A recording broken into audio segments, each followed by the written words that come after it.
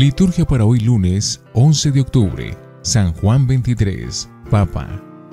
San Juan 23, Angelo Roncalli, nació en Soto il Monte en 1881.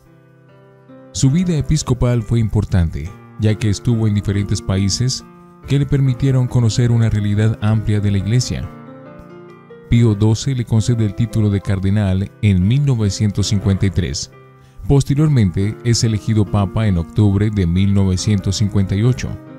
Su misión más importante fue convocar e iniciar el Concilio Vaticano II el 11 de octubre de 1962. Murió el 3 de junio de 1963.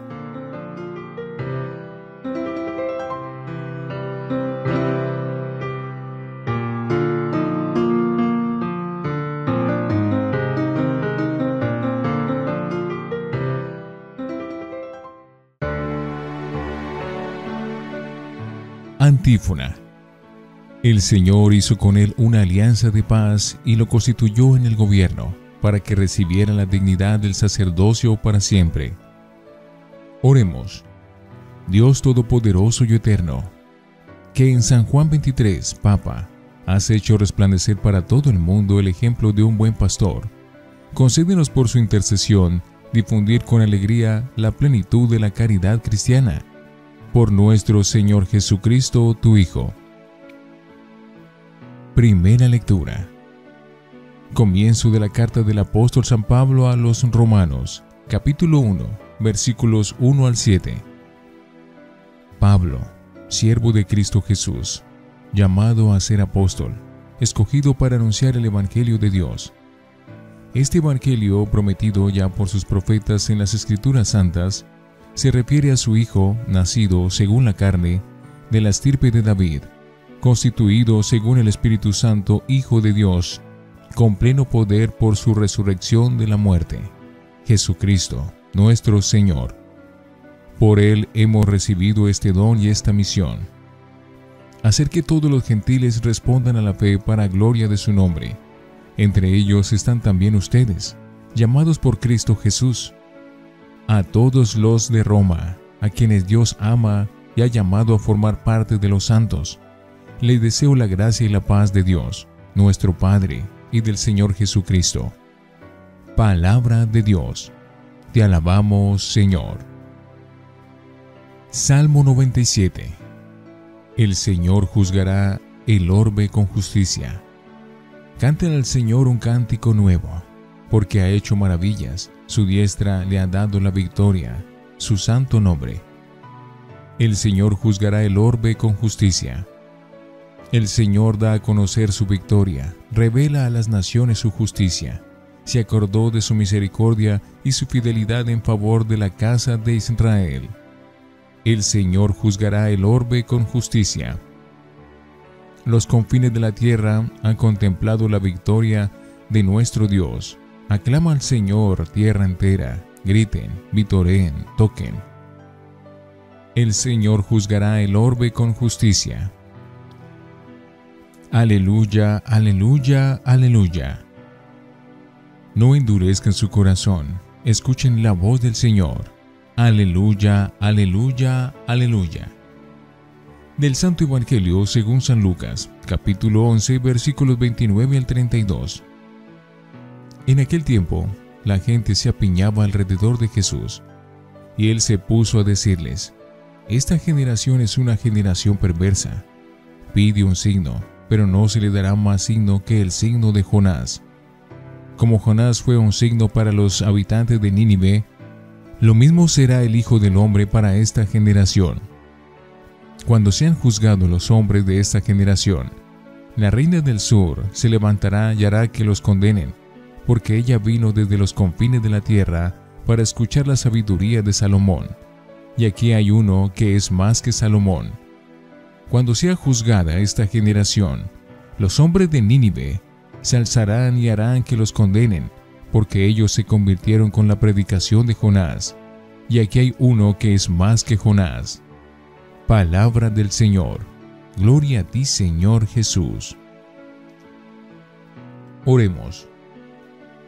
Acógenos, Señor, para que en esta festividad de San Juan 23 nos aproveche esta ofrenda, con cuya inmolación concediste que se perdonen todos los pecados del mundo, por Jesucristo nuestro Señor. Antífona. Señor, tú lo conoces todo, tú sabes que te amo. Oración después de la comunión. Que la eficacia de los dones recibidos, Señor Dios, en la fiesta de San Juan 23, produzca su efecto en nosotros, para que nos sirva de ayuda en la vida mortal y nos obtenga en el gozo de la felicidad eterna. Por Jesucristo nuestro Señor. Lección Divina. Oremos. Gracias, Padre, porque en Jesús nos diste un signo personal de tu amor hacia nosotros. Haz que no nos avergoncemos de su cruz, escándalo para unos y necedad para otros, pero salvación y fuerza de Dios para todo el que cree en Jesús. Amén. Lectura. Por Cristo hemos recibido este don y esta misión, hacer que los gentiles respondan a la fe. Romanos 1, 1 al 7. Hoy leemos el saludo a todos los romanos a quienes Dios ama y ha llamado a formar parte de su pueblo santo deseándoles la gracia y la paz de Dios, nuestro Padre y del Señor, Jesucristo.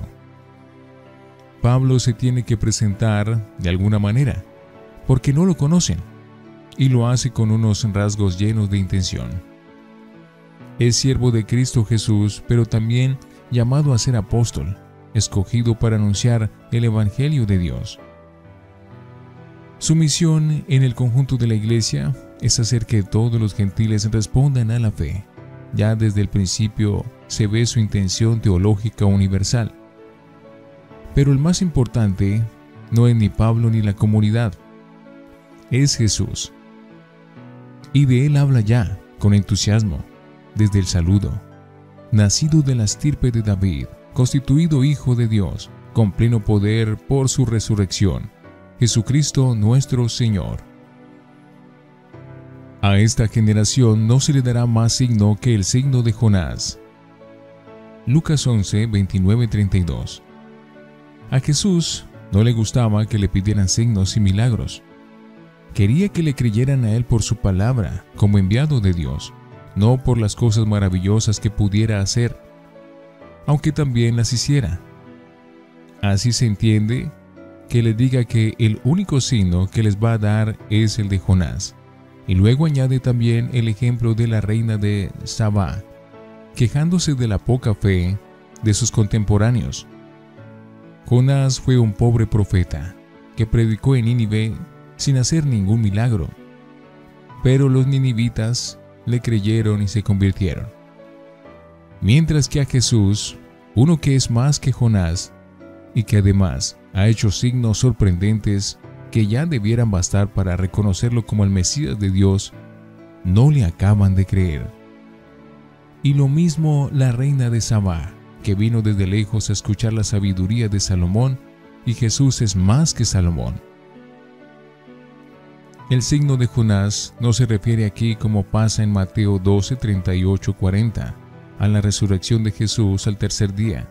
Igual que Jonás había estado tres días en el vientre del pez, Lucas pone a Jonás mismo, a su persona, como signo, sin milagros, apoyado solo en la palabra de Dios. En su caso, con éxito, en el de Jesús, con muchas dificultades. Y eso que los ninivitas eran paganos y los que no creían en Jesús, judíos.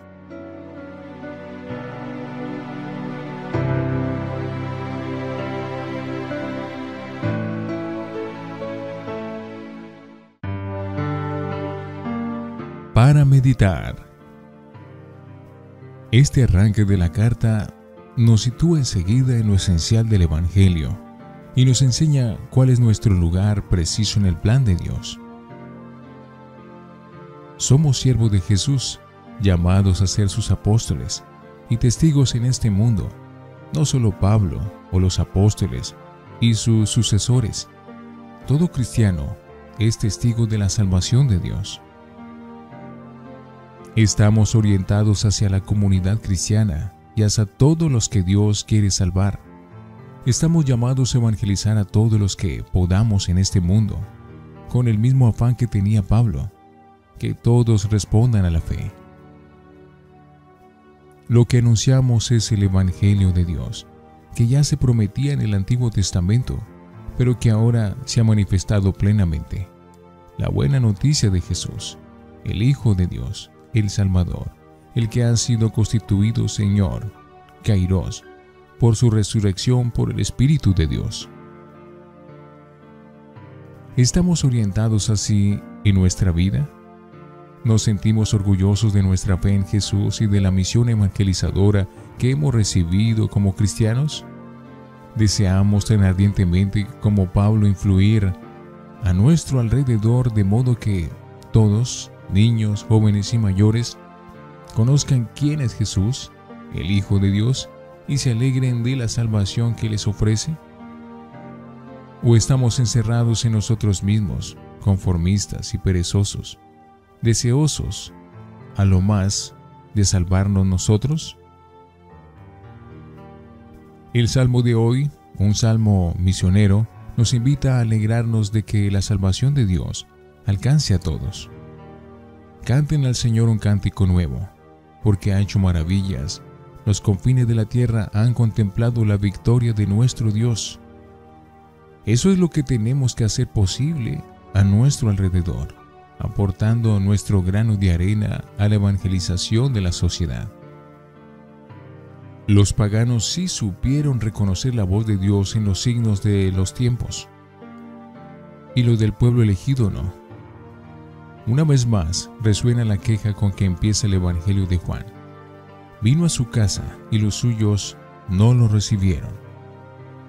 Los judíos se distinguen por pedir milagros, mientras que los griegos buscan sabiduría.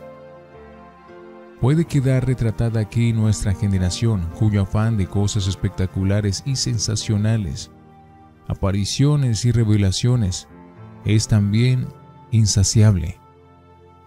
El signo mejor que nos ha concebido Dios es Cristo mismo, su persona, su palabra.